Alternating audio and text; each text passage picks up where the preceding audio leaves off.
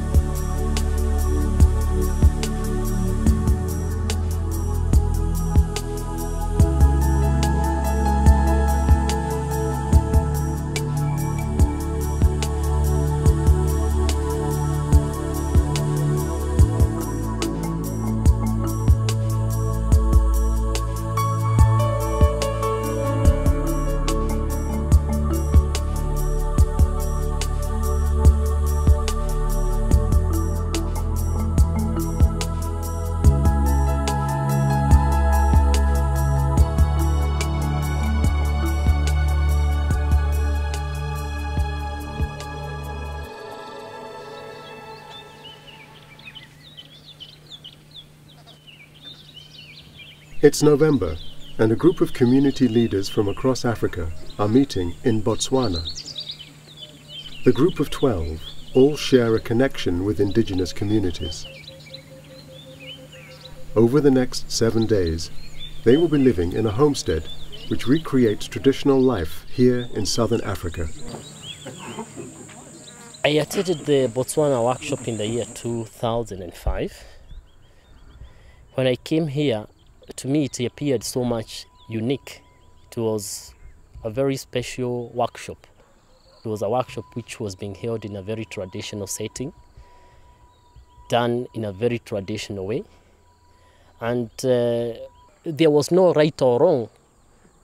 So whatever you say, whatever any other person says is respected. At, at the end of the day, you are able to come up with practical solutions towards the issues that you want to raise. So, so I'm involved in so many groups in my country, youth groups. Uh, it's kind of my hobby. Even the workshop setting is quite different. It's not like the conferences that we are used to attending where you, you are arranged in rows and columns. You have a speaker there coming with presentations, PowerPoint presentations. Here everything is quite relaxed and then you are, you are able even to speak out your mind quite clearly. Actually, this has been my first travel outside my country. Together, we try to see the way forward.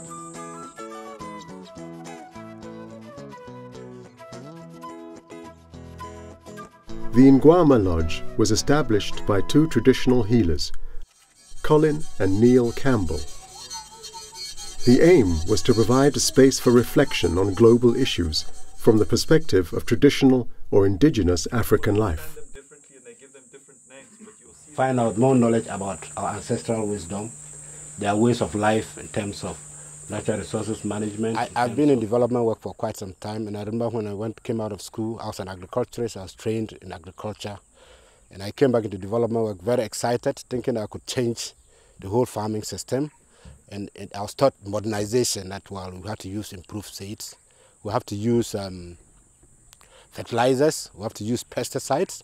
So went out in all the village trying to teach them how they should discard what they were doing and use this um, uh, new technology as development. But after 20 years, I went back to some of the villages. What I found was that either they were west off or maybe just as where they were before I left. And so I began to think that no, there must be something wrong. I think the development we've been pushing is not a right one.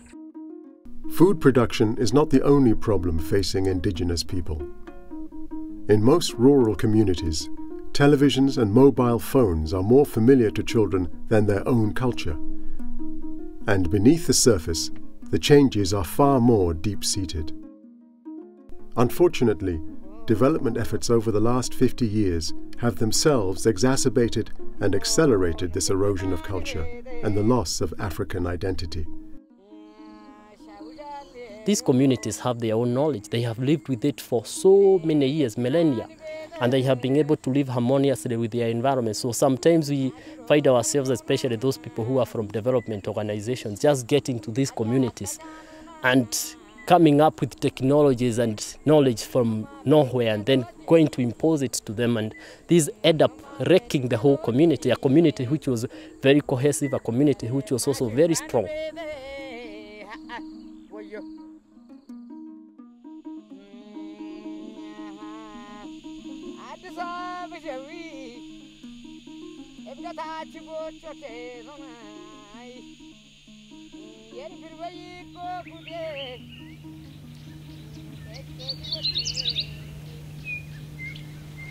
The Botswana process is about bringing people who have deep connection with existent uh, indigenous communities around the world, well, particularly in Africa at this stage, uh, bringing them back into a, a setting where we teach the understandings that were practiced in pre-industrial southern Africa, which for the most part are universal to most of the traditions in, in Africa. We effectively try to recreate as far as possible many of the methods that would have been used pre-industrially to uh, initiate people in the law of nature. So that includes, in a way, going into nature uh, in a completely vulnerable way and availing yourself of what nature has to offer. Before Western education spread through Africa, knowledge was passed down the generations in the form of hands-on learning. From playing instruments to hunting and dancing, knowledge was shared through experience as much as it was through the spoken word.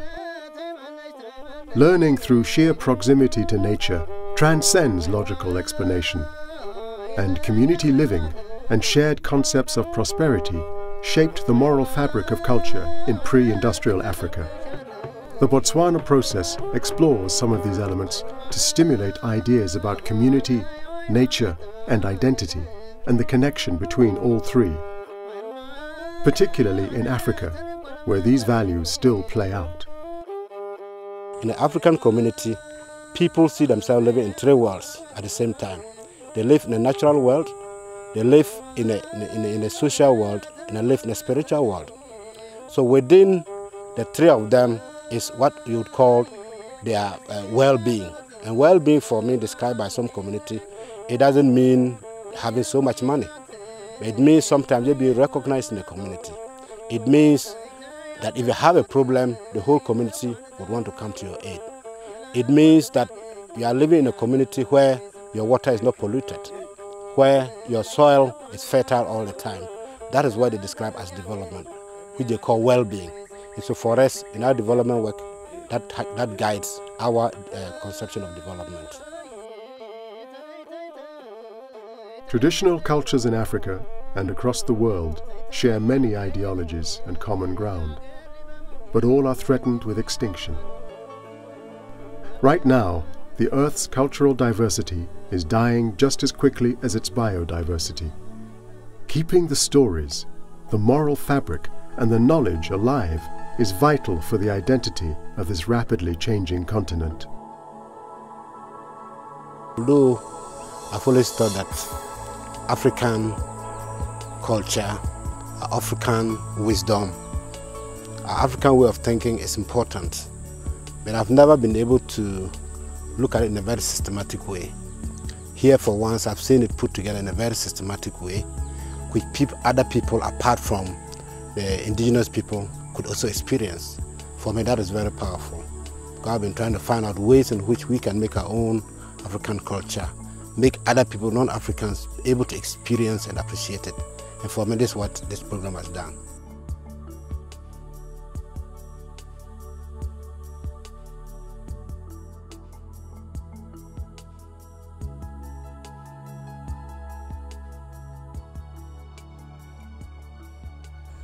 It also gave me the zeal to go back to my community to interact with my relatives, to interact with my elders, to learn more about who I am.